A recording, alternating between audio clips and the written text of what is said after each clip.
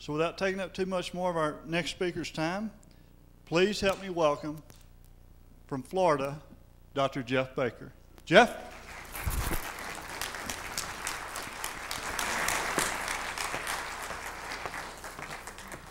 Have I got this right now? Yeah, let me put this on. Put this on my belt. Is that Maybe that'd be better on the other side, Bo. Are they shooting at us, or what is that? Are there, did the federales show up at this place? They're already gunning for me, or down in down in Texas, I understand. It is, from what I understand, um, a little dicey down in Texas. We're getting reports now that Butch and uh, the gang in the state of Texas may be moving on the Republic or Republics of Texas. You might want to keep them in your prayers, and you might want to keep the entire situation in your prayers, folks, because wisdom is going to be needed on both sides. I have found that government has very little wisdom. Unfortunately, I, I, I, think that there is a lack of wisdom perhaps on, on both sides. And I think we need, at this point in time, pray that there will be peace because the last thing we want is another Waco, another bloodshed. The last thing we want is another 87 people butchered alive at the hands of people calling themselves government. But it is, ladies and gentlemen, it is the nature of things unfortunately. It is, unfortunately, the nature of man when he devolves into nothing but a sin nature to become stupid. See, sin makes you very, very stupid. We are a very, very, very sinful nature, so we are very, very, very stupid people. We can prove it. We elected Bill Clinton for a second term. Sin makes you stupid. Newt Gingrich is still in office.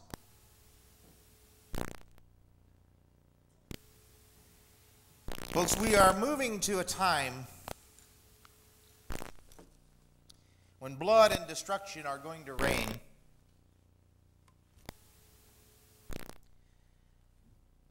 when all that we know is going to disappear, when all that was and is and has been is not going to be anymore. And life as we know it is, frankly, going to vaporize in front of our eyes. I, I wish. I wish, like some of the pillow prophets that you see on television, that I could bring you sweet things and tell you that all is well, not to worry about anything. But frankly, ladies and gentlemen, I can't do that. Number one, I have no financial interest in lying to you, as do the pillow prophets on the television.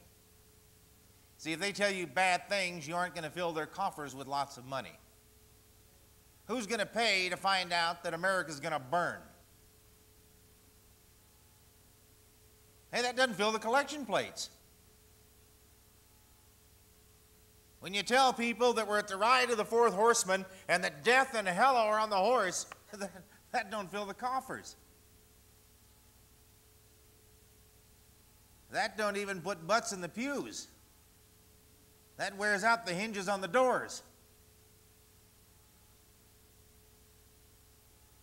I'm not here to tell you all is well. In fact, I'm here to tell you that all is hell and it's about to break loose. And it's about to engulf this nation and swallow us.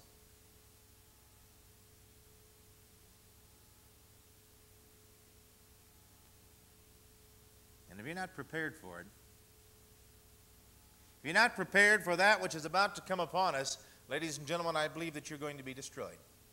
It's that simple. If you haven't started making your preparations, this would be a good time to undertake that task. You need to prepare physically. Bo asked me if I was storing up for hard times, and he looked at my pouch today on my uh, on my suit. But hey, when famine comes, brother, I'm hanging in. Actually, I've lost about 10 pounds since I saw him last time. He just likes being mean to me, I think. I told him I was just following his example as I patted his rotundness. I think one of the things we better be doing, we better be getting in shape a little bit. So I've lost about 15 pounds. Got a couple more to go. I think that's one of the physical preparations we need to make. Right now, my idea of exercise is jogging from my desk to the kitchen. I'm fixing to change that, however. We need to make the physical preparation. Listen, if you don't have food put away, I think you're flirting with danger. I don't know about you, but starving to death doesn't appeal to me. We're coming to a time of famine. We'll talk about it. You need to prepare emotionally. Told Marcia the other day, it was a blistering hot day down in Tampa, and I said, You know, during the Depression, I sure am going to miss air conditioning. Because it's coming, folks.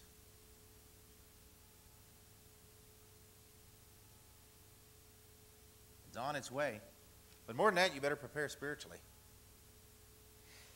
Listen, if your idea of restoring the nation is rebuilding the constitutional precepts that we had, then you're going to fail. Because the destruction of the Constitution, ladies and gentlemen, is not the problem, it's a symptom of the problem. The problem is the lawlessness of the people of this land. We have become a, a class of hedonistic whores that cares about nothing but our own self serving gratification. I talked to the secretary of a senator, the secretary now retired. She said on even important votes like NAFTA and GATT, a congressman or a senator will sell his vote for as little as $2,000.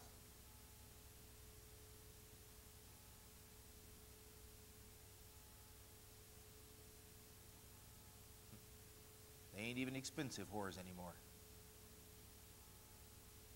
$2,000 they'll commit high treason, ladies and gentlemen. What kind of state do you think we have in a nation that would elect such people? Does the future look bright and rosy to you? You know, I keep hearing this expression, God bless America one more time. You want this blessed? Butch Reno murdering people in Waco? Bill Clinton selling the station out, selling drugs, pedophilia. You want it blessed one more time?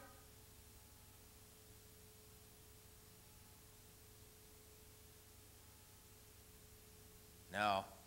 Let the judgment come. There was a time when I prayed for the restoration of the land, and the Lord has stopped me.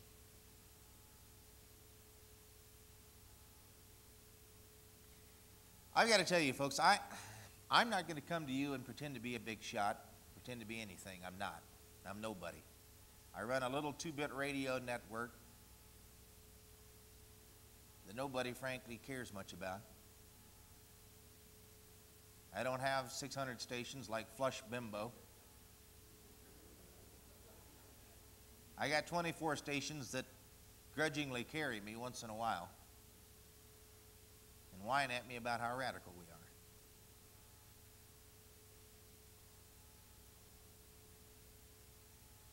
I don't come to you as a big shot prophet. I'm not. I'm not a church leader. No, no self respecting church wants me around. I received the left foot of fellowship from most of the uh, important churches in the country. If you're looking for somebody to follow, you've already blown it.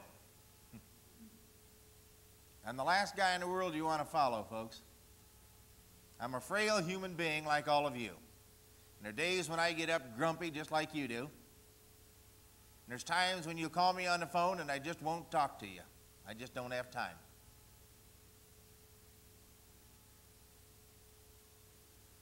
Now I got the lowliest job in the whole place. Yahweh didn't even give me the job of the night watchman inside, out of the weather. He made me the watchman on the wall. I stand out in the storms and in the weather and in the rain. I ain't a big shot. I'm sort of the expendable type. Sort of like a big lighter, you know, kind of one of those throwaway type things. And when the shooting starts, folks, when you start warning the people that the enemy is coming, the arrows are coming from both directions. there ain't even, ain't even much place to go. I take just about as much heat from the Christian community as I do from the world. I'm trying to decide most of the time who's the enemy. But it doesn't matter. Because my job is simple. Lord knows I'm not the brightest guy in the whole world, so He didn't give me a complicated message. My job's real, real easy. When I see the enemy storming the wall, I scream as loud and as long as I can and tell you they're coming. And if you respond, you respond. If you don't respond, there's not much I can do about it. Except keep hollering. And that's why the Lord gave us a radio network so we could holler. They're coming.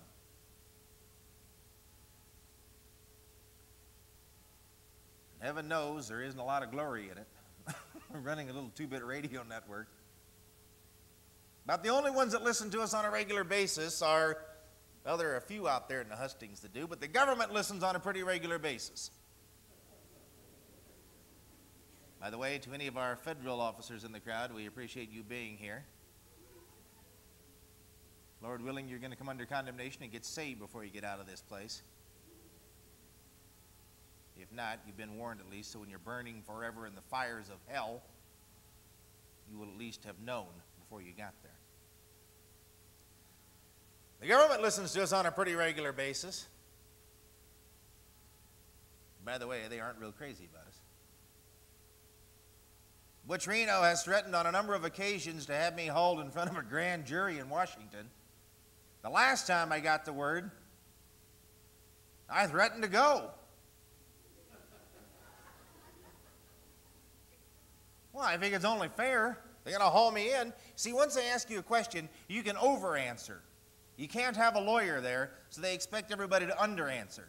But once they ask you a question, you can over answer. I figure I can slide into a preaching filibuster for about 10 days, two weeks. Maybe we'll get the grand jury saved and indict Butch while we're there. We're already in Washington. What the hey? You see, we've come to that, folks. We've come to a point now where they take little guys like me, preacher of the gospel. They'll threaten us with imprisonment and with grand juries and with indictments. And somehow I'm supposed to cower from it.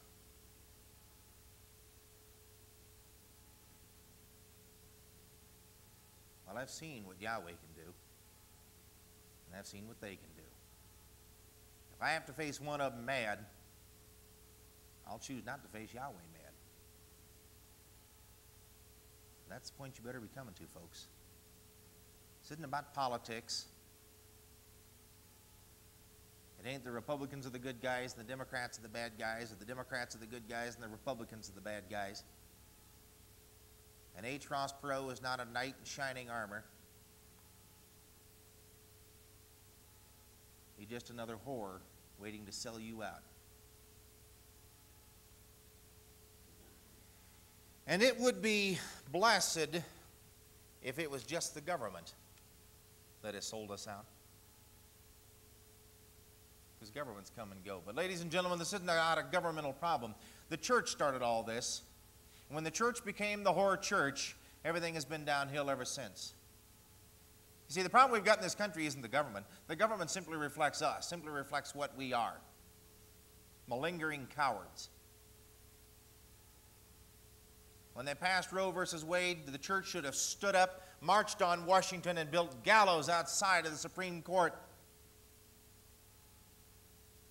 and said, repeal or swing. We didn't. Barely a murmur.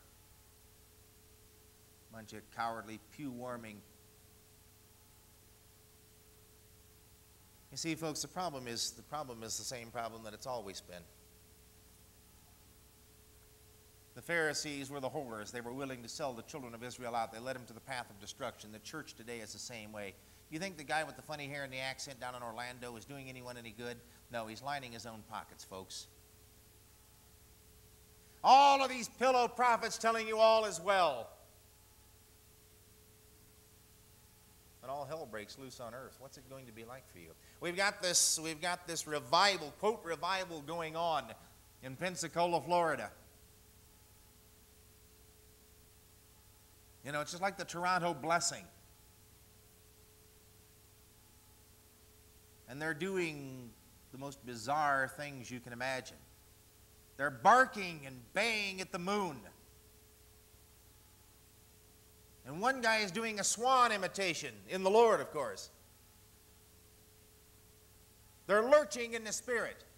Scripture talks about a young boy that they brought to the disciples and the scripture said that oftentimes the Spirit would grab him and he'd lurch and he'd throw him into the fire, trying to burn him, or into the river and try and drown him.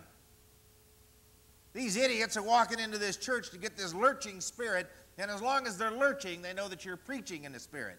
If they stop lurching, you're supposed to stop preaching. Scriptures describe it as a demon, and they're standing in line to get it. And that's what passes for religion today.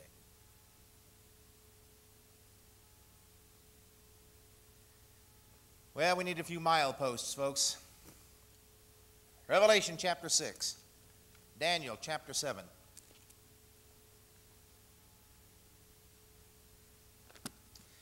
And I and I was saw when the Lamb opened one of the seals, and I heard, as it were, the noise of thunder. One of the four beasts saying, Come and see. And I saw, and behold, a white horse, and he that sat on him had a bow, and a crown was given unto him. And he went forth conquering and to conquer. This, ladies and gentlemen, is the passages that talk about the four horsemen of the apocalypse. There are two main schools of thought on this. One is that it already happened a long time ago. The other one is that, well, that it's coming a long time in the future. And I'm telling you that right now we are in the ride of the fourth horseman of the apocalypse, and I believe that we can find who the other three were so that you might have a milepost in history. And I saw and behold a white horse, and he that sat on him had a bow. Then a crown was given unto him, and he went forth conquering and to conquer. Go back to Daniel chapter 7. Verse 3. And the four great beasts came up from the sea, diverse from one another. The first was like a lion, and had eagle's wings. And I beheld till the wings thereof were plucked, and it was lifted up from the earth and made to stand upon the feet as a man, and a man's heart was given to it. I believe these two verses are corollary verses. They are describing the same beast. The white horse came forward, and him that sat on him had a bow and a crown, and he went forth conquering and to conquer. Daniel chapter 7, verse 4 And it was like a lion, and it had eagle's wings. Think now of a shield a picture in your mind of a nation that uses the white horse and the bow and the crown and the two lions facing one another with a big red heart, the heart of a man. And they went forth conquering and to conquer, and the sun never set on the British Empire as they went forth conquering and to conquer. You see on their shield to this day the bow and the crown and the white horse and the two lions standing. I believe, ladies and gentlemen, this was, this first horse was and is the British Empire. And it is still riding. This becomes particularly important in light of Revelation 13, but we'll get to that shortly. The second horse.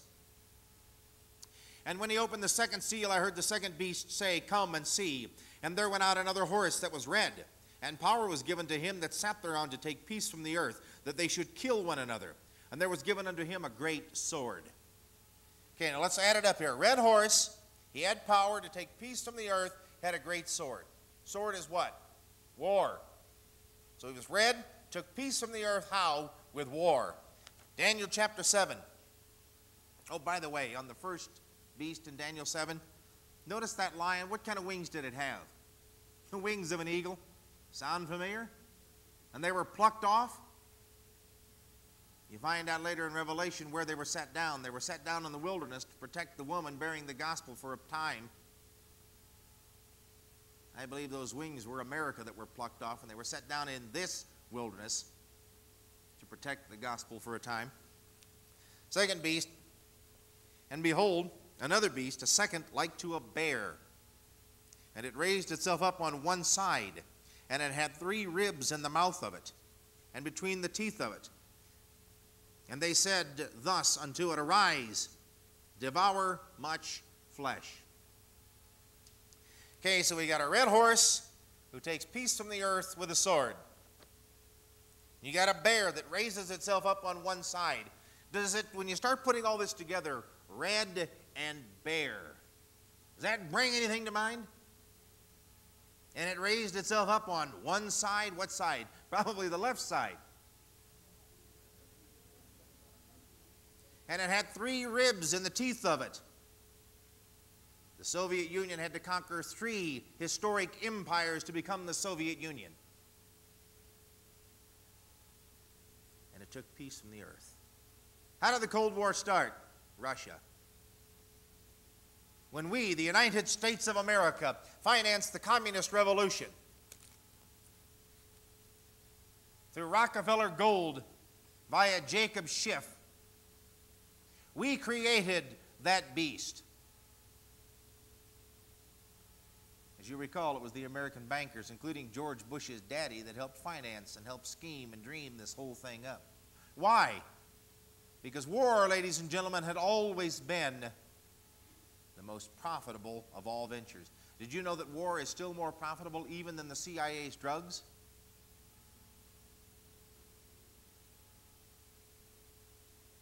War. Why do we have to create the Soviet Union? To create a counterpoise to the United States. We had to. We had to have a Cold War so that we could have an armaments buildup. You see, this all dates back to the Knights Templar. The Knights Templar, they sent them over to the Middle East, to Jerusalem, supposedly to guard the roads going in so the pilgrims could make their pilgrimages to Jerusalem, to the holy city.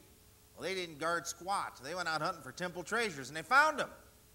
And they came back with the equivalent of billions of dollars in gold, temple treasures. That's what set up the international banking houses. And here's a little game they played. They'd go to the king of the north and they'd say, Hey, kingy old boy, the kingdom of the south fixing to make war on you. The kingdom of the north would go into an absolute panic. War?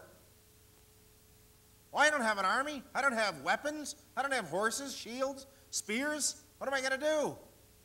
And the Rothschild banker said, Well, gosh, we can loan you the money so that you can get all that stuff.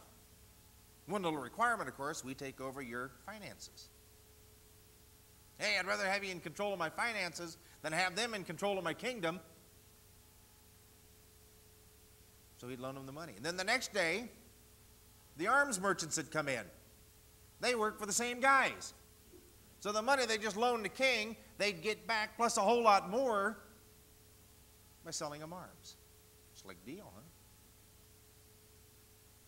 And then they'd go to the guy in the south and said, hey, king to the north buying a whole bunch of soldiers and arms and spears and shields and horses. He's fixing to make war on you. Of course, the king to the south would go into a panic. Well, we have no horses. We have no army. We have no spears. And the Rockefeller bankers, actually the Rothschild bankers at that point in time. By the way, the Rockefellers and the Rothschilds are the same family. According to a Rothschild historian who is a Rothschild himself, now a believer, two brothers took the names Rothschild and Rockefeller. They're the same family. The Rothschild banker would tell the king to the south, hey, we can loan you the money, don't worry about a thing. Of course, the only thing we require is that we take over your finances. Well, that's better than having that bozo up north taking over my country they'd finance wars. Still doing it. after World War I. The Treaty of Versailles guaranteed World War II. Who was there brokering the peace? Same guys that started the war in the first place. In fact, it was embarrassing. You had two brothers running the finances. Max Warburg was running the finances for Germany. Paul Warburg was running the finances for the United States. These idiots were meeting in Greenland and Iceland about every six to eight weeks to determine how World War I was going to come out, how long it was going to last. Nobody even bothered to notice this until they got to the peace table. And the press was so incensed that Paul Warburg was there representing the U.S. and Max running the, the show for the Germans that Paul finally had to withdraw from the peace negotiations, at least formally.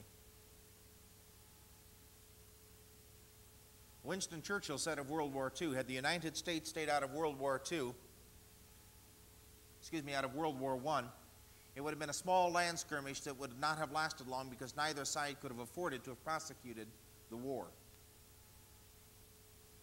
In other words, they'd have thrown rocks at each other for six months and gone home.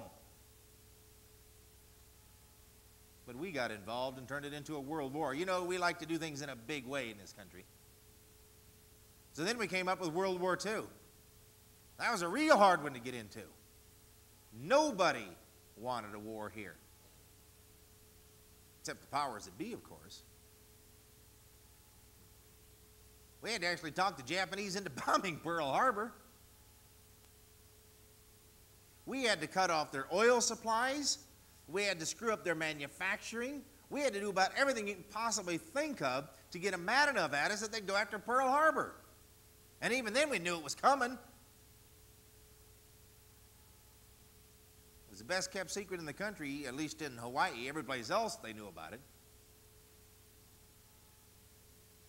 War is a profitable game. So we set up the Soviet Union to take peace from the earth. Who do you think profits with the Patriot missiles and the military industrial complex. It's the powers that be. The George Bushes and Bill Clinton's bosses. And yet it was prophesied. You see, things really shouldn't catch us by surprise, but they typically do because we typically don't, we typically don't see. And you don't hear this in the church. The church's idea of, of preaching is John 3.16 or a variation thereof, Sunday after Sunday after Sunday after Sunday. I know some elders that have been saved 18 times this year. We got them walking the altars till they're wearing their shoes out. Well, that's not the gospel. It's a tiny little piece of the gospel. But yet the church doesn't want to talk about prophecy. The church doesn't want to talk about the destruction of America. The church doesn't want to talk about the law of the Lord because, see, if you do, the rooms don't fill up.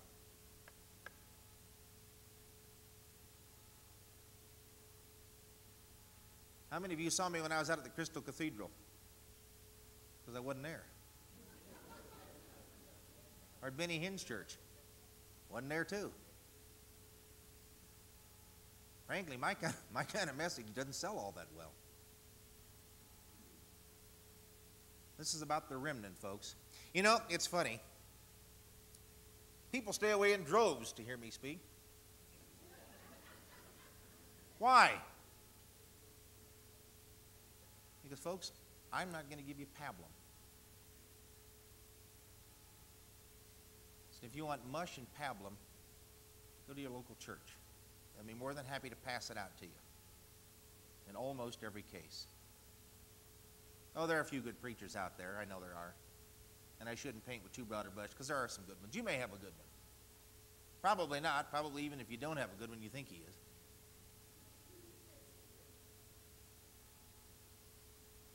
Because he's yours. It's like your congressman. Every one of them's bad except, except yours. And I know yours is okay because you keep reelecting him.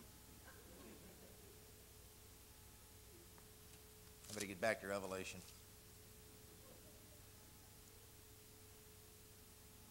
And when he opened the third seal, I heard the third beast say, Come and see, and behold, and lo, a black horse, and he that sat on him had a pair of balances in his hand. And I heard a voice in the midst of the four beasts say, A measure of wheat for a penny, and three measures of barley for a penny, and see that thou hurt not the oil and the wine. Daniel chapter 7, verse 6. And this I beheld, and lo, another, like a leopard, which had upon the back of it four wings of a fowl. The beast also had also four heads, and dominion was given to it. Interesting passage. This is the fourth, the third beast, and somehow it's got to line up with this black horse. We've got a leopard with four heads and four wings, and it's got to line up with a black horse. Well, first place, let's see if we can get a bit of a historical perspective. What nation came to power after the Soviet Union at a time of great famine and economic distress? A measure of wheat for a penny, that was a day's wage. And a measure of barley, or three measures of barley for a penny, also a day's wage. Didn't Adolf Hitler come to power at such times? The people clamored for a leader. Give us someone who can lead us out of this morass. Give us someone to give us pride back in ourselves. How does a black horse fit in with a leopard? Well, what do you call a leopard that has no spots that's all black? Panther, like the Panther divisions, perhaps, of Nazi Germany. A leopard without spots is, well, a panther without spots is, a, is an animal that is all dark, mysterious, stealthy. It is black. It has that occultic look to it, that occultic feel to it. What have we built our entire space program on here in the United States? The work of the Nazi scientists. Go to them, talk to them. What is it that they see? What is it that they believe? They all believe that they are channeling beings from great beyond somewhere. Listen, you, you think these scientists are logical, organized people that, if anything, would be atheists, right? Most of them aren't. Most of them are into the occult. I, I just met with a number of them. I just met with one of them who believes he's channeling Palladians. Palladians, by the way, are people from a, some planet called Palladia. I'm, you think I'm kidding, but I'm not. You see, the entire Nazi regime was built upon the occult, occultism. And this, this leopard that has no spots, this panther, has four heads. Well, he had four main generals. It has two wings, two sets of two wings Italy and Japan. The powers that went with it. Italy was steeped in the occult. Japan is the most occultic nation on the face of the earth. Perfect allies for Nazi Germany.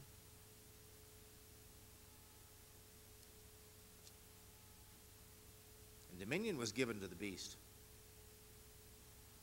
Well, I'd say it had plenty of dominion. Started a world war. And it was this black horse that was riding, and it came at a time when the people would literally work all day. Remember, the Treaty of Versailles caused the German people so much economic hardship that they would work all day for enough wages to eat.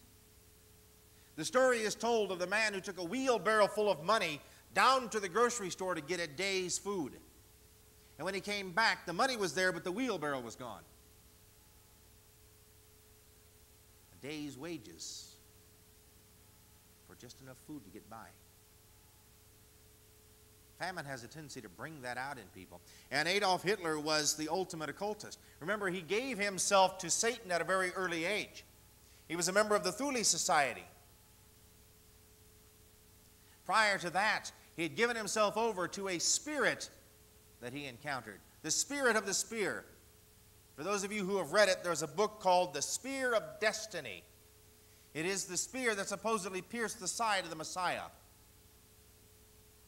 As he went to the Habsburg Museum one day, by the way, he went to the Habsburg Museum because he believed himself to be of the Habsburg line. He was, in fact, the illegitimate son of one of the Habsburgs. The Habsburgs are one of the controlling dynasties of the world. The Habsburgs are part of the Merovingian dynasties, that believe they are direct descendants from Jesus, the Messiah, and Mary the Magdalene. The last temptation of Christ really alluded to that relationship. That the Messiah didn't really die. They hauled him off the cross and he took off to have homosexual relations and to run off with this, quote, whore, in quote, Mary. And they produced offspring. And these are the 13 families. Not the 12 tribes, but the 13 families. The Habsburgs believed them. By the way, that was why Hitler killed all the Jews and the gypsies. You know, the gypsies had long been rumored to be the lost tribe of Dan. So I hated gypsies. He thought they were one of the 12 tribes. But they believed themselves to be the only true descendants, the only true Jews. The rest were divorced Jews, bastard Jews, that had no right to exist. That they were the true offspring of the Messiah, the 13 families, the Merovingian dynasties. That's why Hitler hated Jews. That's why Hitler killed gypsies.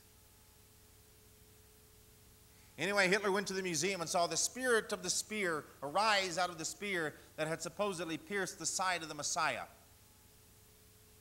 And the spirit came out and it took him high above all the earth. And showed him all the kingdoms of the earth and said, All these are yours. Do my bidding.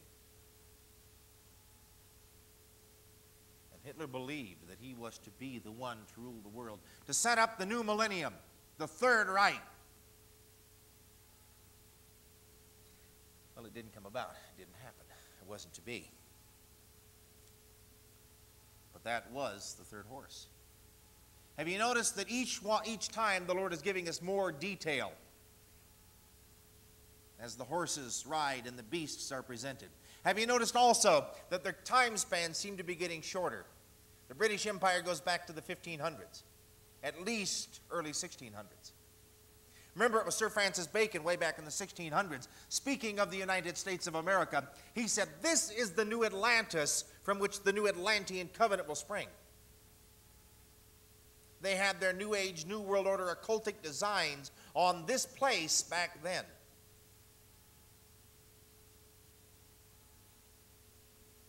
And you, of course, remember the lost continent of Atlantis. Of Atlantis. Not, not completely mythology, by the way. Because the lost continent of Atlantis is, in fact, the earth at the time of the flood of Noah. Remember, Atlantis was, was, was, was destroyed by a deluge. And what was the Atlantean covenant? Well, the Atlantean covenant, ladies and gentlemen, was the law system they are ushering into us right now. What does the scripture say about it? It said that the, the world was ruled by men of evil, whose every thought was evil continually.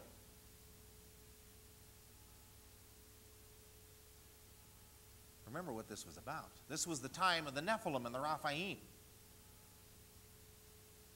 This is the time of the Nephilim when those Nephilim, those fallen angels, came down and they saw that the daughters of men were fair. And they took unto them wives and they had children, the scripture says in Genesis 6. And these were the mighty men of old, the men of renown. There were giants in the land. These were the Nephilim's offspring, the Rephaim, the mighty men of old, the men of renown. And every one of their thoughts was evil continually. That, ladies and gentlemen, is the Atlantean covenant. That's what George Bush and the New World Order planners have in mind for you right now. That is the Atlantean covenant they're bringing back. Speaking of Noah, he was called a preacher of righteousness, who was what? Pure in his generations. There was no Nephilim blood flowing through him. By the way, these Nephilim existed, these Nephilim and these Rephaim existed both before and after the flood, according to the scriptures. Now, the scriptures tell us it'll be just as it was in the days of Noah, by the way. Guess what we just saw, folks? Hale-Bopp just went whizzing by. Hale-Bopp has not been here in 4,000 years. That is, Hale-Bopp has not been here since the time of Noah. You want a milepost? There it is. Won't be back for another 4,000 years. So either this world is going to stick around for another 4,000 years, ladies and gentlemen, or we are beginning now to see the last moments of history unraveling before us. I believe it to be the latter, not the former. I believe we are in the last of the last days. I believe, ladies and gentlemen, that we are coming down to the very end of the end. And I believe the Lord is giving us mileposts. One is Hale-Bopp. Because Hale-Bopp went through at the time of Noah as well. What does it mean? It means that if your preacher's telling you all is well, just fill up the collection plate. Whether knowingly or unknowingly, he's lying to you. All isn't well.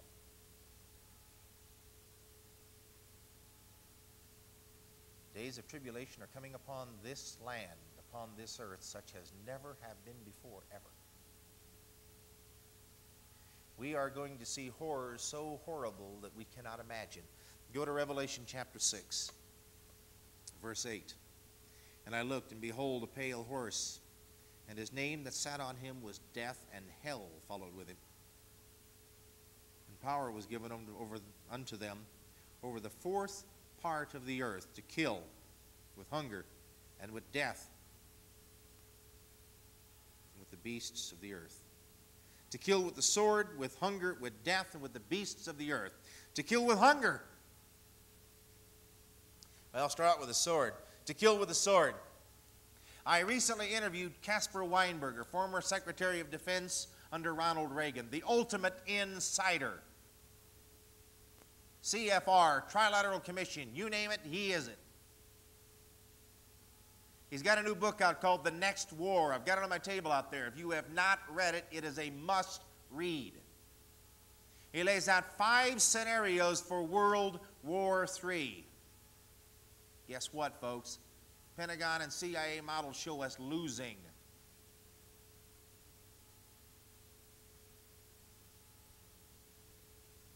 Can't be. We're America. Sin makes you stupid, folks. We elected Bill Clinton twice. He has gutted the military. He has gutted our ability to even survive a nuclear attack. He has completely dismantled all Star Wars.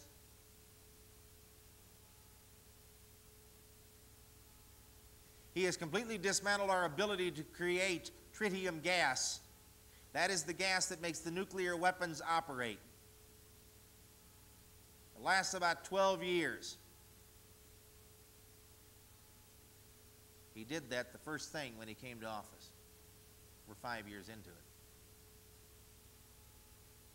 After about six years, you don't know whether it's reliable or not. In Cap Weinberger's scenario, World War III, the Russians take all of Europe except for, guess what? England and Spain and Italy. Why? You got the Pecci family in Italy, that is one of the Merovingian dynasties. You have the Juan Carloses of Spain, that is one of the Merovingian dynasties. And of course, who's going to touch England? England controls Russia. The United States ends up paying $100 billion a year in tribute to the Soviet Union, not to nuke us. Cap Weinberger's Pentagon run scenario. China, the 200 million man army that Scripture talks about, yeah, well, China's now got bases in Long Beach, California, and also just south of there. China controls both ends of the Panama Canal starting this year. Oh, yeah, there's a company in Hong Kong that's got the leases. Hong Kong becomes Red China in July, folks.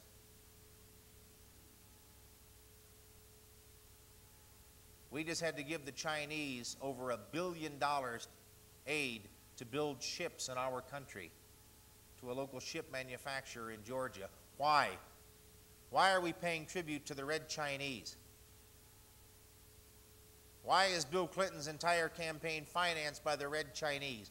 Is he afraid of them? Is he just a coward or is he a traitor as well? He is both. But sin makes you stupid. We elected him.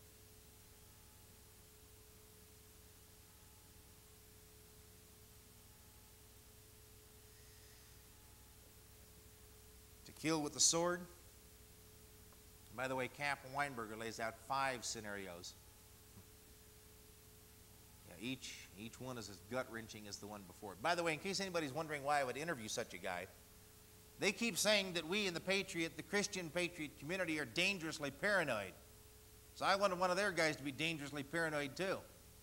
So I put him on tape. He's just as dangerously paranoid as we are. So the next time they accuse me, I'll hand him Cap Weinberger's tape and say, well, get him first.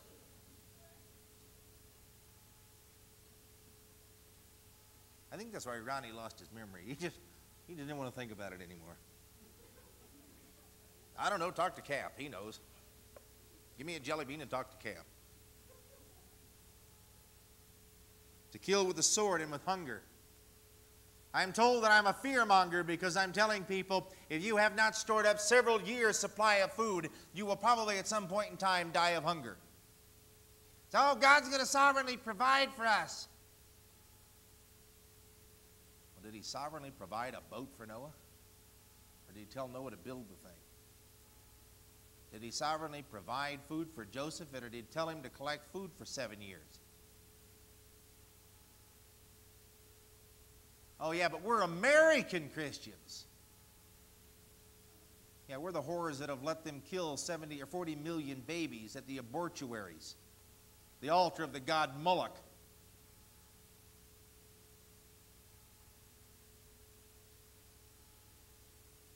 You see, folks, the call of the Lord in the last days isn't find a good church and get in it. What does the Spirit say? It says, Come out of her, my people, lest ye participate in her plagues, her tortures.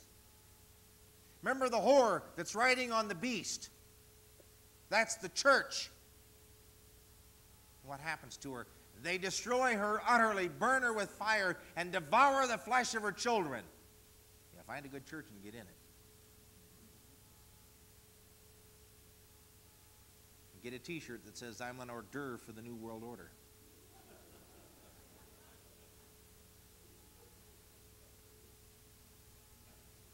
Because the church that is going to be so anxious to sell you out, to turn you in. Why do you think the Lord says, Come out of her?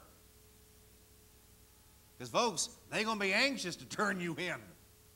They're going to think they're doing God's service when they turn you over to the new Gestapo, to Butch and the boys. Actually going to think, they're going to be so deceived, so brain dead, so warped, so demonic. They're actually going to think they're doing God's service when they turn you over to the tormentors. The Lord says, Pray that your flight not be in the winter or on the Sabbath. Well, we know two things. Winter's always going to be, and Sabbath's always going to be. Because he's talking about the end of the end times. What does he say? Pray that your flight not be then. Why? Because in the wintertime, the corn was in the barns, the corners of the field had been gleaned, and there was nothing but snow on the ground and cold weather to truck in. Pray that your flight not be on the Sabbath. You couldn't buy or sell or trade on the Sabbath. You were out to luck, out of luck on the Sabbath. What is he saying? See the handwriting on the wall and make your plans while you can. Prepare in advance for that which surely must come upon this once great land.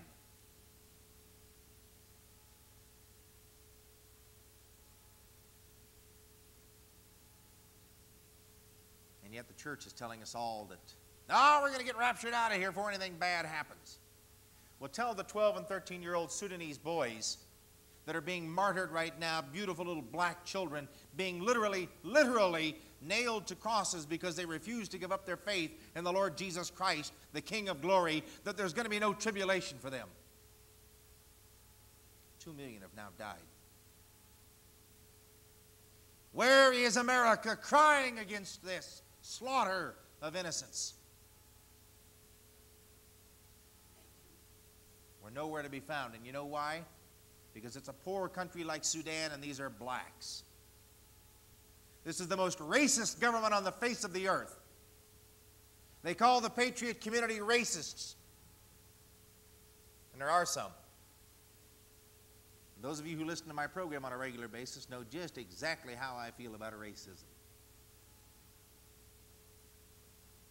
But yet, this hypocritical government, this apostate bunch of lying, murdering thugs, will let two million black Sudanese Christians be murdered, martyred, because A, they're black, and because B, they're poor. What do we care?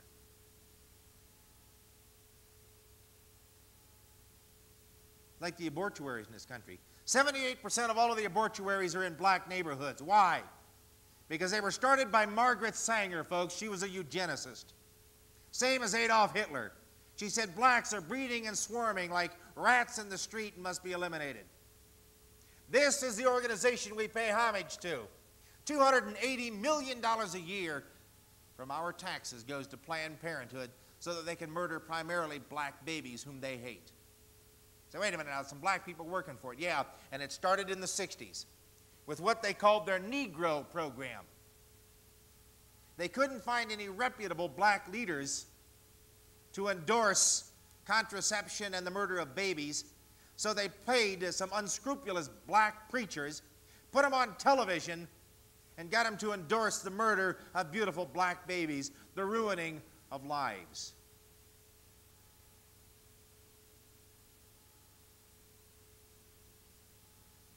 And the scripture says that the Lord's going to double what we have done. For everything they've done, double her cup. Fill her cup twice for what she has done. 80 million are going to die for the abortuaries alone, folks. 80 million in this country are going to die for the abortuaries alone. That is prophesied, that is Bible law. Now, unless Yahweh's a liar, 80 million people are going to die. Well, Revelation chapter 6 tells us how a fourth of the population of the earth is going to die, folks.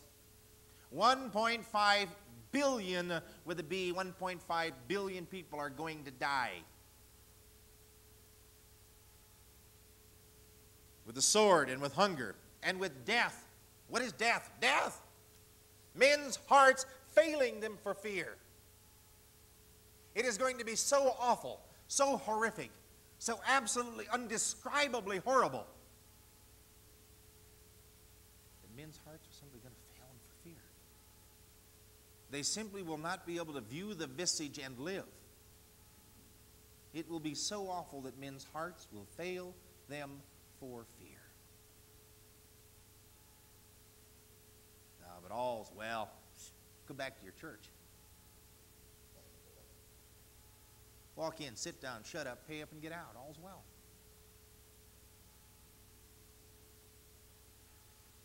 And with beasts of the earth. The word beast there is the Greek word therion. Therion. Therion has two meanings wild beasts and venomous beasts.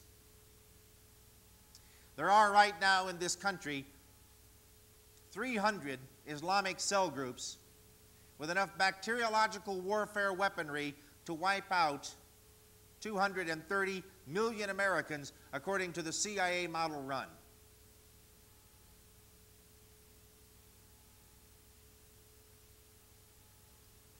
Babylon, Babylon the Great has fallen, has fallen.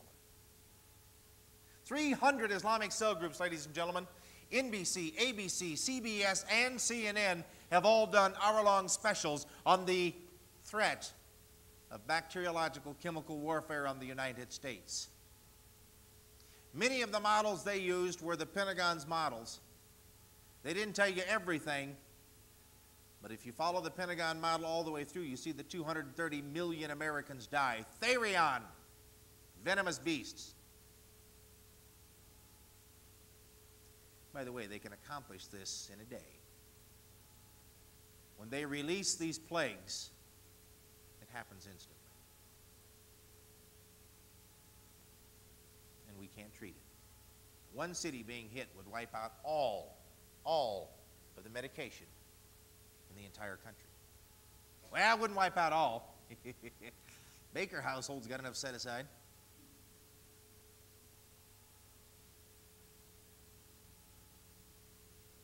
They call me crazy. They say that I'm say that I'm just a prophet of doom.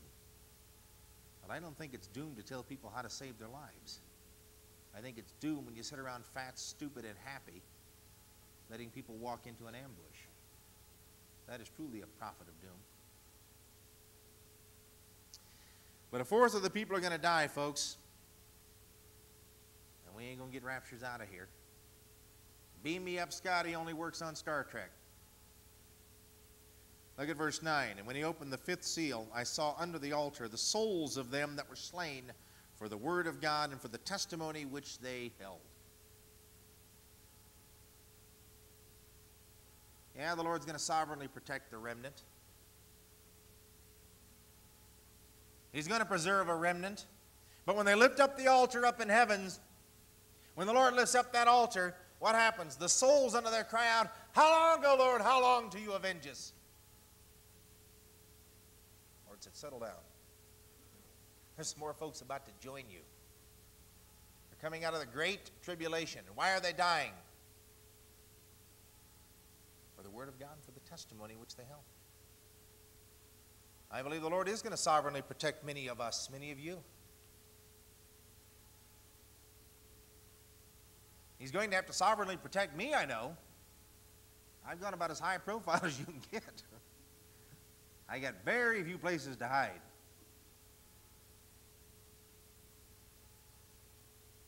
But it says, Blessed are they that die in the Lord from this point on. You think they can honestly scare me with heaven? Behave yourself, or I'm sending you on to be with Jesus. Folks, I don't know many folks that work many longer hours than me. I'm a dichotomy. I work extremely long hours, but I'm probably the laziest guy I know. I hate it. If they want to send me on to be with the Lord for the next few years while we're waiting for all this to shake out, and the Lord comes back on a white horse charging,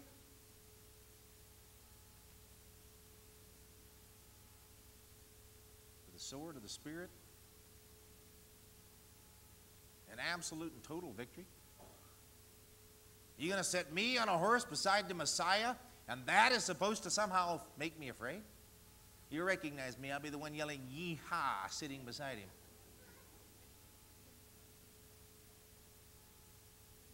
Listen, folks, they can't threaten me with anything. If I go on to be with Jesus, I go on to be with Jesus. I'll be back. And when we come back, circumstances are a whole lot better.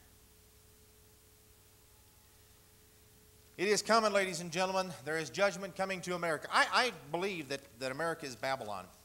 I believe we are that great Babylon.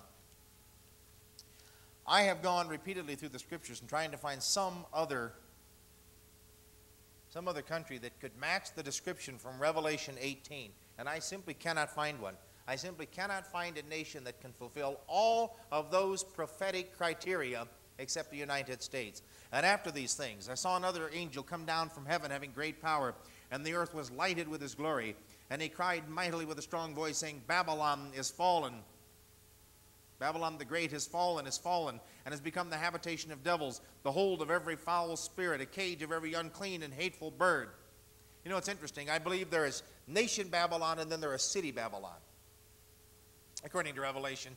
And be, ooh, wow. And because of the time, we're not going to go into that today. You're going to have to take my word for it. Actually, don't. Go to the scriptures, you'll see it. There is nation Babylon and city Babylon. I believe New York City to be that city. I believe America to be that nation. Isn't it interesting that it says, by the way, it says the whore that sits on many waters.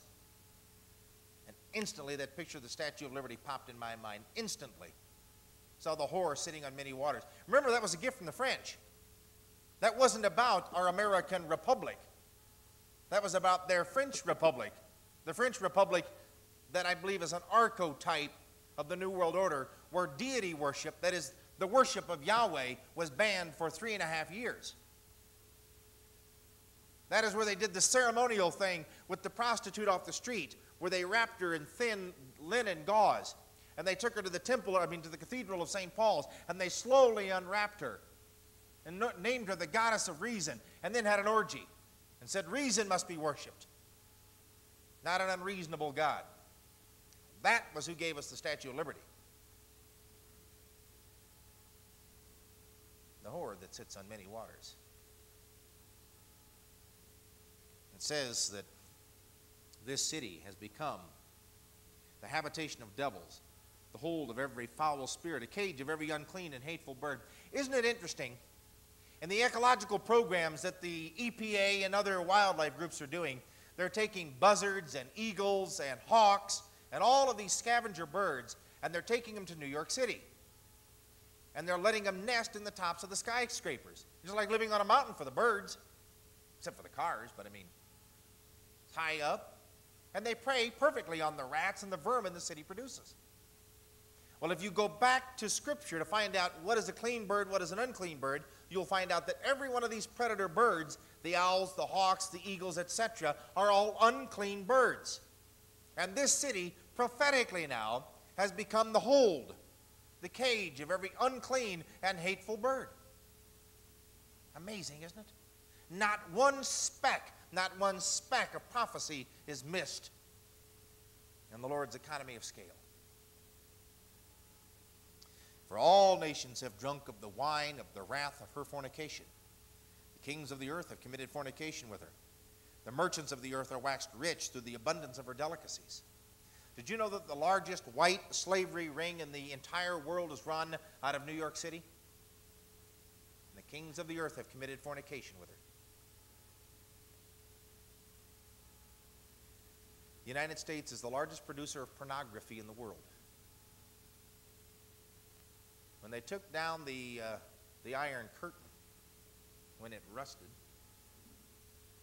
by the way, it's not gone. We'll, I don't think we'll have time to get into that, but we may. When the Iron Curtain, quote, fell, pornography flooded in to Russia. Billions upon billions upon billions of dollars of pornography went to people who couldn't even afford to buy food. Where did they get the money for pornography? Privately financed porn for the destruction of the nations. All came from America. For all of the nations of the earth have committed fornication with her, and the merchants of the earth are waxed rich through her abundance of her delicacies. And I heard another voice from heaven saying, Come out of her, my people that ye be not partakers of her sins, that ye not receive of her plagues. For her sins have reached unto heaven, and God hath remembered her iniquities. Reward her, even as she has rewarded you, and double unto her, double according to her works. And the cup which she hath filled, fill to her double. The CIA, the largest drug running operation in the world. Oh, you say it can't be, not the CIA. Why do you think George Bush went down and got Manuel Noriega? He got tired of him skimming. Think about it, folks. We went to a sovereign nation, picked up a sovereign ruler of a sovereign nation, brought him back to the United States, and threw a sovereign butt in a prison for all these years. Huh? They took our people hostage in Iran. We were ready to go to war. Jimmy Carter sent helicopters in there to crash in the desert. By the way, that's, that's, become a, that's become a shrine for them. They actually make pilgrimages to it. Sin makes you stupid, doesn't it? Gee, Merry Christmas.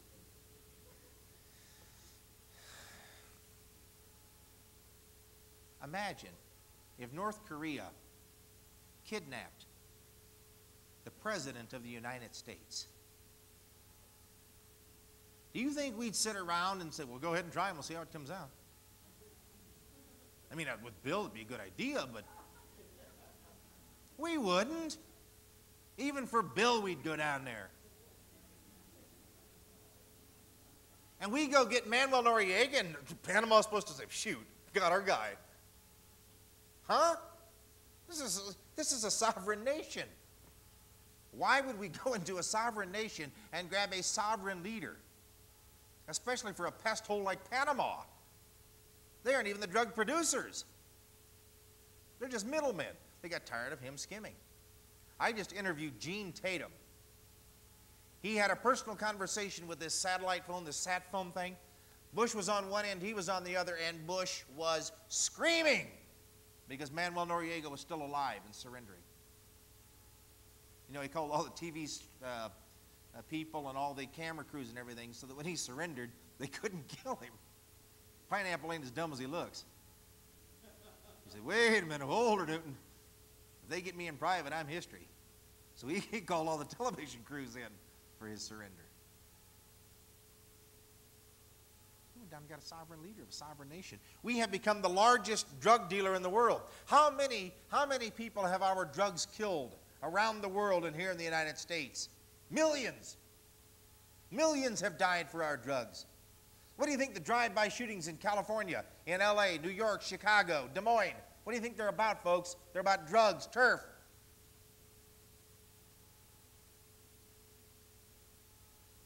Easily 100 million people have died as a result of our evil.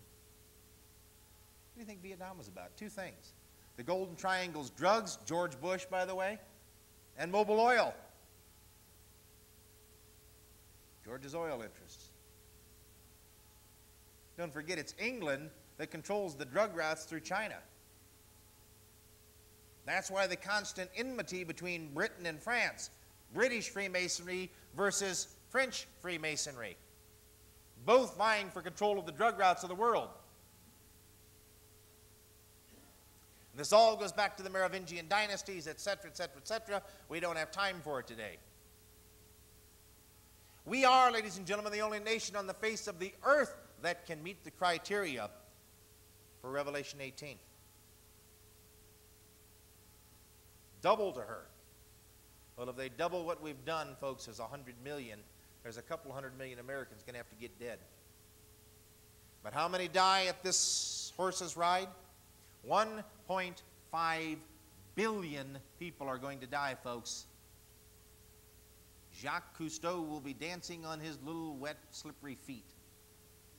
He says that 350, 350,000 people a day should die to stabilize the world's population.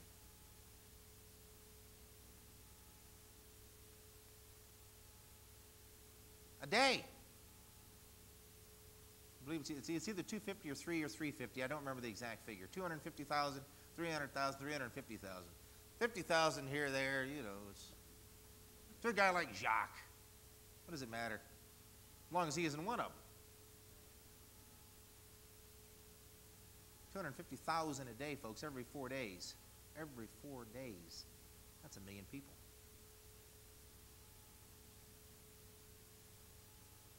It's about 100 million a quarter.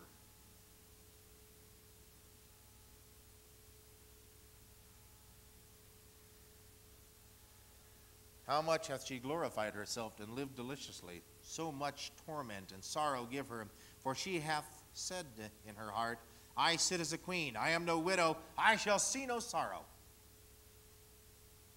Is that not what we've said? We're America. We're America!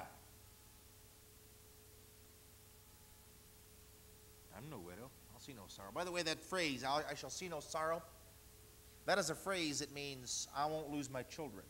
I shall see no sorrow.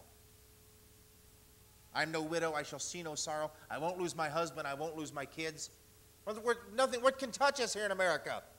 The greatest medical system in the world, the richest country on the face of the earth. What could happen to us? I shall be no widow, I shall see no sorrow. I'm not going to lose my kids. And yet, in a day, in a day, one verdict comes down and 40 million babies die, and we're seeing sorrow.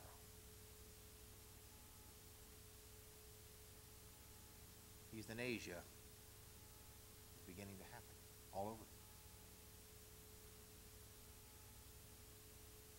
They're throwing patriots in prison for homeschooling their kids, and yet Jack the Dripper Kevorkian has now killed 40 people, and he's still walking around. And he mocks the courts by showing up in the dress of the founding fathers.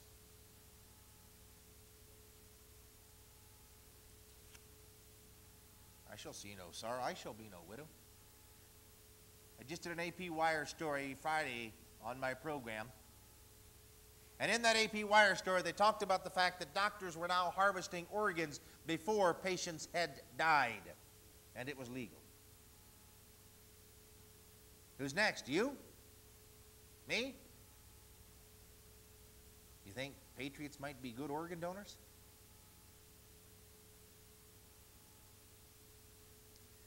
Therefore, shall her plagues come in one day death and mourning and famine, and she shall be utterly burned with fire, for strong is Yahweh who judgeth her. Do you think, folks, do you think that we're going to get away with this? Do you think the pillow prophets are right, that all is well? Go to Psalm 94 20.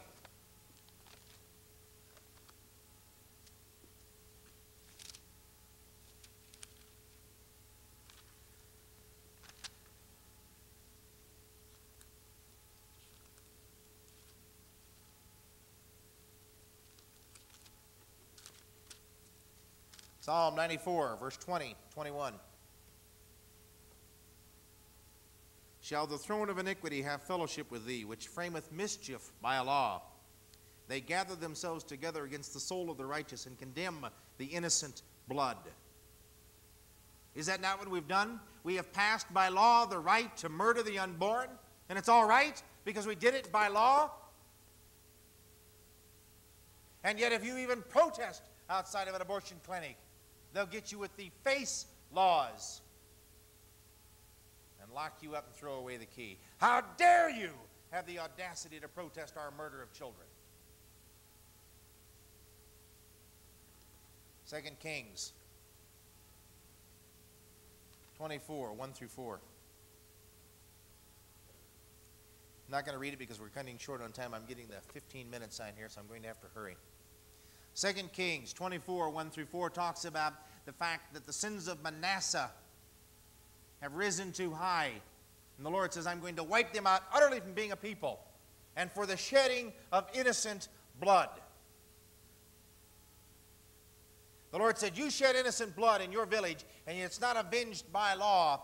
I personally, the Lord says, I personally will destroy your village. Choking on the blood of 40 million slaughtered innocent children.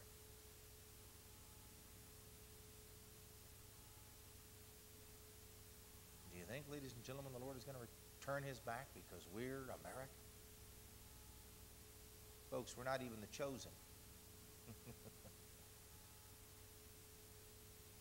Chicago isn't the New Jerusalem. Israel is still the apple of God's eye. And if he is willing to destroy them, he is willing to destroy us. By the way, he gave them a bill of divorcement. What is a bill of divorcement? See, in our society, we believe divorce ends a marriage. It doesn't. The biblical model of divorce is a time of separation waiting for reconciliation. It doesn't end anything, it simply separates two combatants until such time as they can be reconciled. The Lord said, He blinded Israel that we might be grafted in. When we have become a cancer on the vine, you suppose He's going to leave us grafted in? If He was willing to remove Israel, will He not remove the United States? Isaiah 17 talks about the removal of Damascus. How does that fit in with Babylon? Babylon the Great has fallen, has fallen. Well, it's simple. Ladies and gentlemen, there is a cabal being formed right now. In fact, it is formed. December 10th, a congressional report came out talking about a nine nation cabal that had formed in the Middle East to push Israel into the sea and to make war with the United States, the great Satan. It is coming, ladies and gentlemen. There is a war game going on right now with 200 ships involved. It has an Arab name, an Islamic name, but it means the road to Jerusalem. That's happening now, today, while we're here. That is happening. This is not a game. The entire world is on the verge of breaking into war. We have an area of the world I call Chaostan. Because of time constraints, we are not going to have a chance to go into it now. but it basically covers Eurasia, Africa, and the Middle East. Just as World War II did not start in 1941, but rather in 1931, World War III is not going to start when the entire world explodes into a nuclear holocaust. It has started already. 1931, China, Japan invaded China, Manchuria. 1933, Italy invaded Ethiopia. 1935, Hitler had consolidated power and was already waging war on the continent of Europe.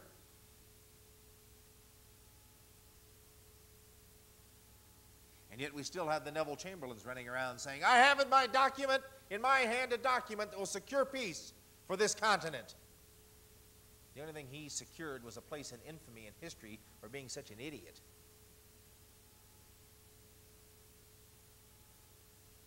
Neville Clinton is in the White House now.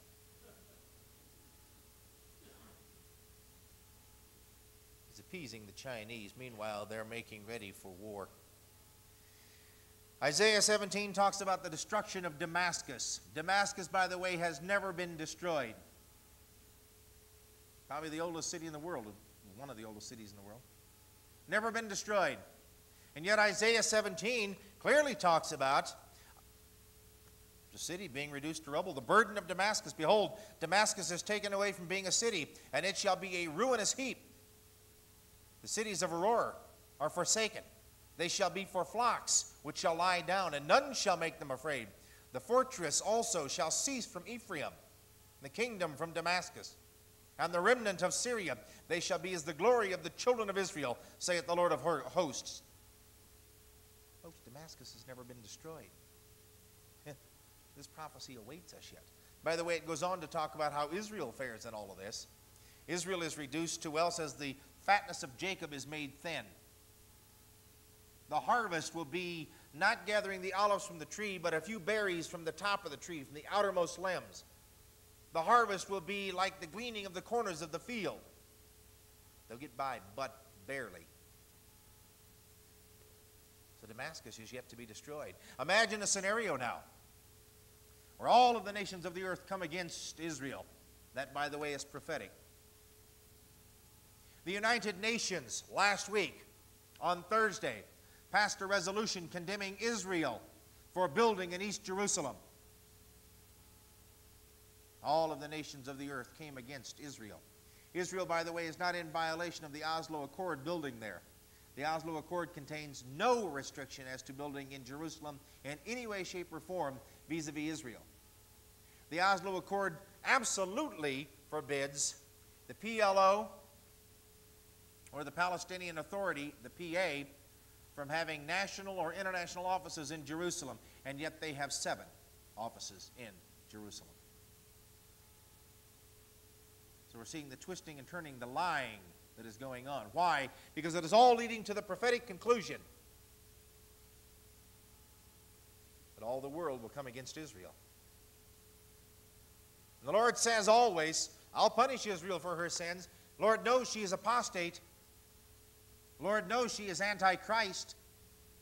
But he says, when I punish her, I'll punish her with nations that are even worse than she. and woe be unto them by whom the punishment comes. But Damascus is going to be destroyed, obliterated.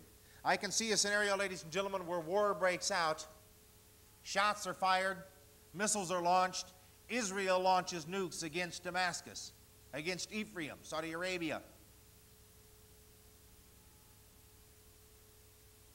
Meanwhile, Syria is demolished.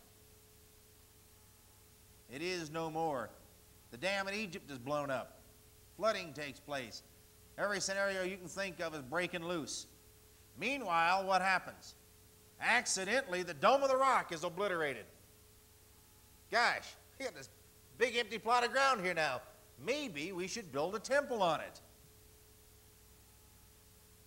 And they rebuild a temple quickie temple, but a temple. Three and a half years later, they've done the red heifer thing. They purified the temple. Meanwhile, in all of this confusion, because when war starts in the Middle East, it goes everywhere.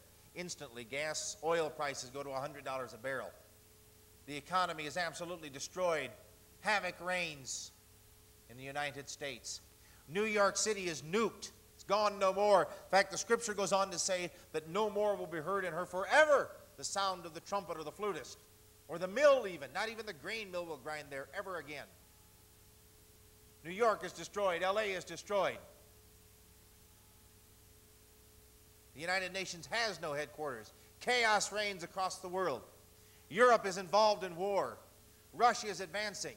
The Taliban army is marching from Afghanistan into the former Soviet provinces.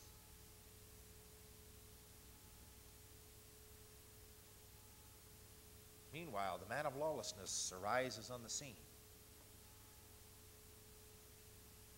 He says, We need a headquarters. Hey, everything's blown up. New York's gone. Miami's gone. LA's gone. Vegas is gone. There's bacteriological warfare all over Europe. I got it. Let's go to Jerusalem. My, so much of Jerusalem has been destroyed. Where can we go in this time of crises? Where can we unite the peoples of the earth? The Arabs and the Jews and the Christians. Let's go to the temple The gathering place through the centuries for all the religions of the earth. When a man of lawlessness sets up shop there, those who are on a rooftop shouldn't come down and take anything, just flee. You're in a field, don't go back to your house to get anything, flee. Flee. Run. Because we pass from tribulation to great tribulation. Second half being worse than the first. We're there, folks. We're not sitting on some cloud strumming some harp.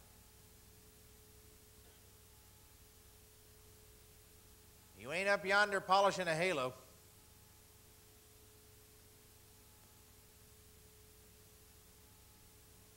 You're here.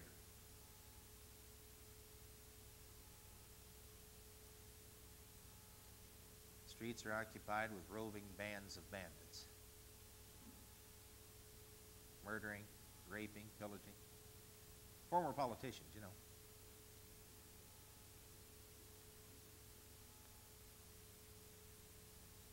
Literally, things have gotten so bad that human beings are eating other human beings. Now, it won't be a donkey's head selling for a month's wages to make soup. It'll be humans eating humans.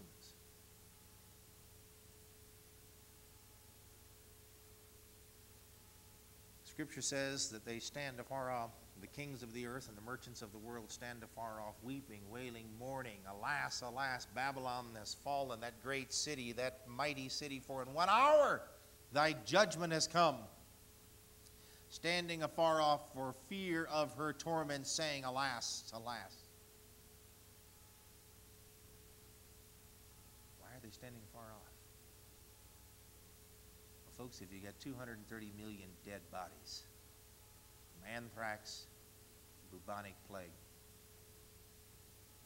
you have nuclear destruction, you have cannibalism,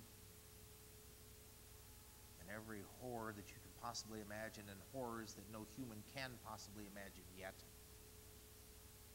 taking place. Do you think they're going to come here? No, they stand afar off weeping, wailing, screaming in agony. What has become of Babylon the Great? You're here.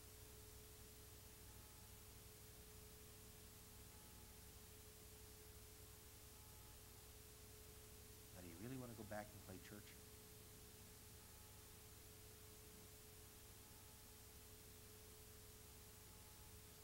Is that job really that important? folks. We're out of time.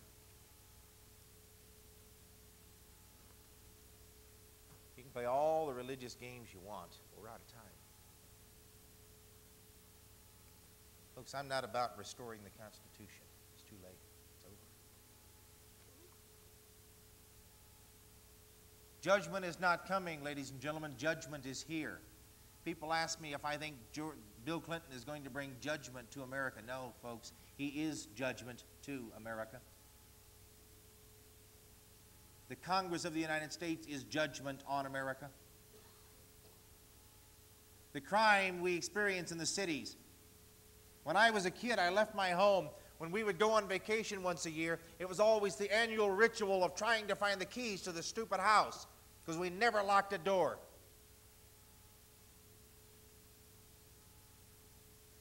Now, when I put the car in the garage, I lock the car doors and close the garage door.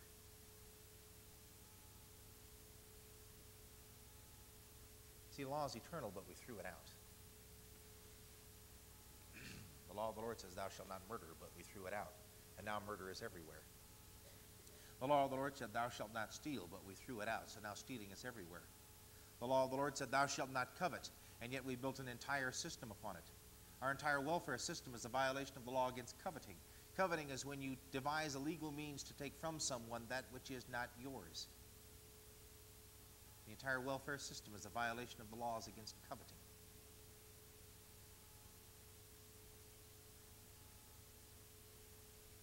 We have become a whorish people. Sold our birthright for a mess of pottage. In a day, in an hour, sudden destruction is coming, folks. You got to make some decisions. Unfortunately, I can't see your faces because of these lights, the way they're shining. I don't know if you're listening or if you're getting ready to throw things or what you're doing. But you need to make some decisions. You're out of time for sitting on a fence. It's done. Over.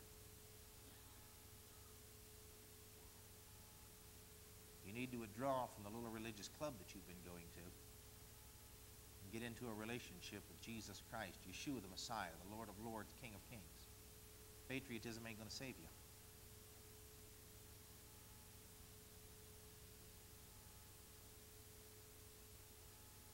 Judgment is coming, folks. You need to make decisions now. At what point in time will I say no more? At what point in time am I going to refuse to walk any further into this system? At what point in time do I say, no, I'm stopping here, I'll go no further? You need to make it now while you can, because the time is coming shortly, very shortly, when you're going to be in the heat of the fire, in the middle of the battle. You won't be able to make it then. Make it now. Have you made plans? Where are you going to meet your family? When destruction comes. You may be at work, they may be at home. Folks, destruction is coming. In a day, in an hour. In a day, in an hour. Sudden destruction. No, this is America. In a day, in an hour, folks, I tell you. It all ends. Life as you know it ends. Hopefully, you put away food, water, some gold, some silver, and of course the other precious metal, lead.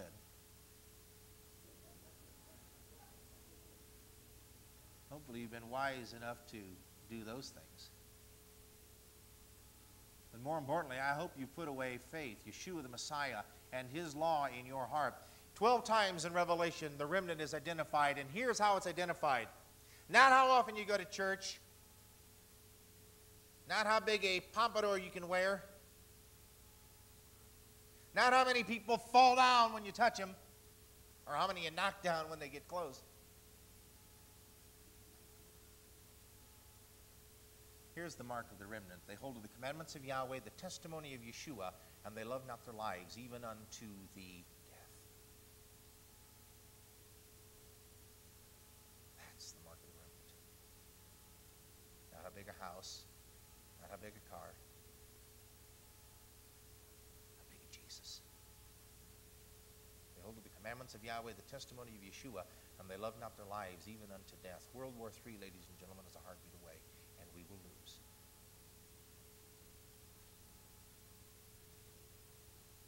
Are you ready for life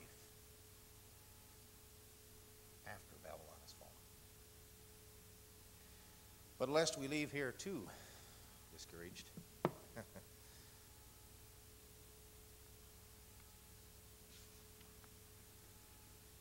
I guess I'm not exactly what you'd call a pillow prophet because I've been told that sometimes after listening to me, folks have a hard time sleeping. I'm more of a walking prophet.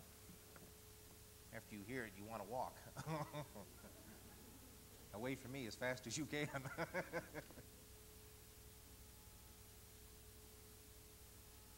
There's another king coming, folks.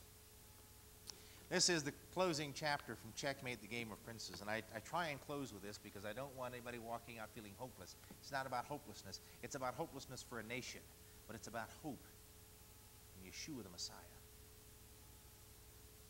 The princes feel they've moved all the pieces into all of the right positions.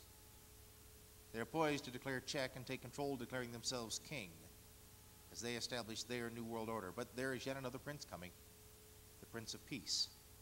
And it is he who has been declared by and throughout all eternity king.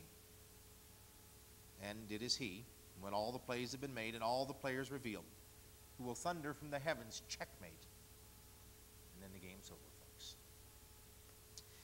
From Dr. S.M. Lockridge. First time I heard this mighty, mighty man of God, this beautiful black preacher, do this passage. I knew I had to have it in my book because it summed up everything I was trying to say and didn't know how. I can't imagine the anointing that must have been on him when he preached this, but I tell you, every time I keep a tape of it and I listen to it, and it melts me to my shoes every time I hear it. The Bible says, My king is a seven way king. He's the king of the Jews. That's a racial king. He's the king of Israel. That's a national king. He's the king of righteousness. He's the king of the ages. He's the king of heaven. He's the king of glory. He's the king of kings. He's the Lord of lords. Yes, that's my king. Well, I wonder do you know him? David said, The heavens declare the glory of God, the firmament showeth his handiwork. My king is a sovereign king. No means of measure can define his limitless love. No far seeing telescope can bring into visibility the coastline of his shoreless supply. No barrier can hinder him from throwing out his blessings. He is enduringly strong. He is entirely sincere. He is eternally steadfast. He is immortally grateful. He is empirically powerful. He is impartially merciful. Well, I wonder do you know him? He's the greatest phenomenon that has ever crossed the horizon of this world. He is God's Son. He's the sinner's Savior. He is the centerpiece of civilization. He stands in the solitude of himself. He is august. He is unique. He is unparalleled. He is unprecedented.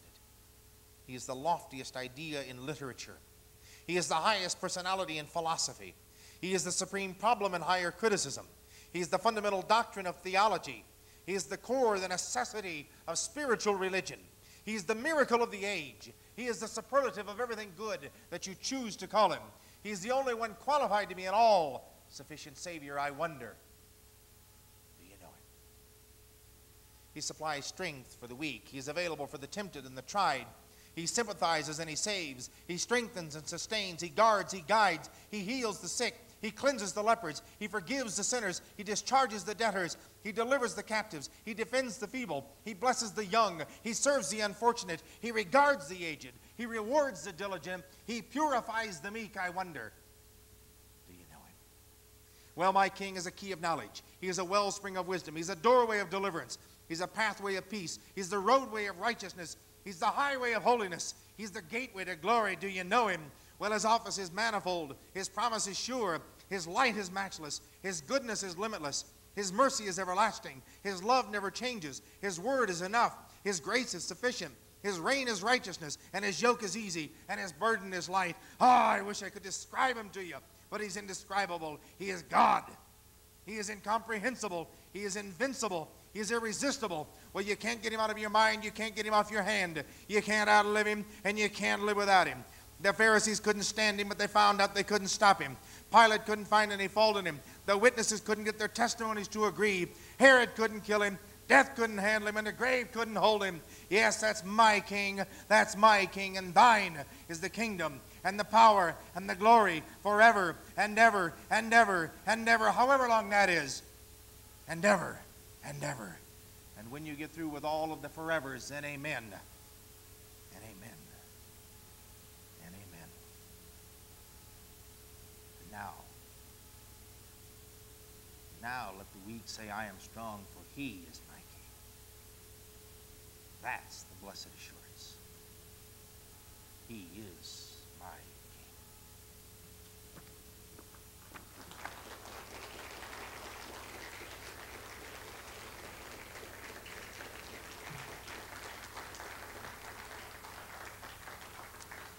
Before y'all run off, there is one last thing that we would like to take care of.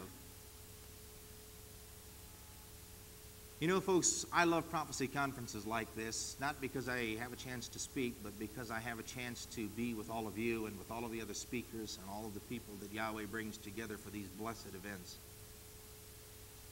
You don't know yet, perhaps, what an honor it is, but you're going to find out in the very near future what an honor it is to have comrades in arms, that is, those of faith who will stand with you through thick and thin, because at a very short point in time, you are going to be all you have.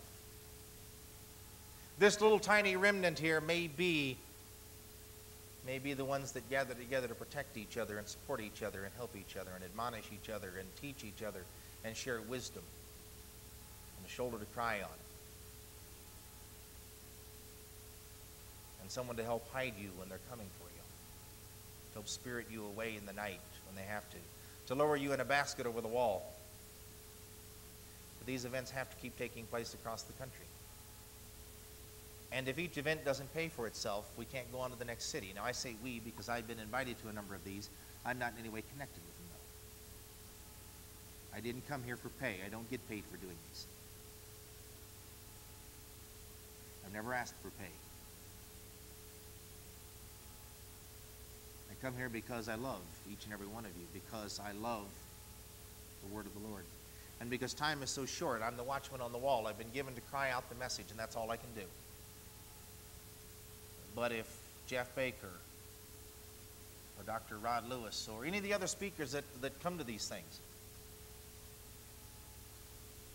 if any of them are going to continue, or Sam Mars or any of them, are going to continue on. That means there has to be people that put these together.